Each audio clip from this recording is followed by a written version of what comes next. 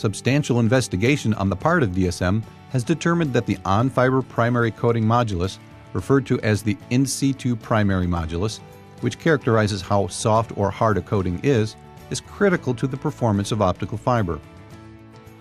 DSM developed a unique way to characterize such properties using a dynamic mechanical analyzer, or DMA, in the early 2000s.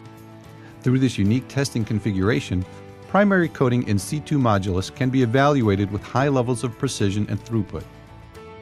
In addition to on-fiber primary coating modulus characterization, DSM has also developed a method to characterize secondary coating in situ modulus and the on-fiber glass transition temperatures of primary and secondary coatings. Both tests use a coating tube section, which is comprised of both primary coating and secondary coating layers stripped from the optical fiber. The tests are performed on a high-end DMA.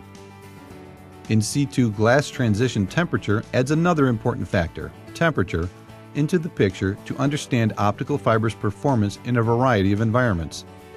Within the temperature range of interest for the optical telecommunication industry, negative 60 degrees Celsius to plus 85 degrees Celsius, the coating modulus could have a change of three decades or 1,000 times.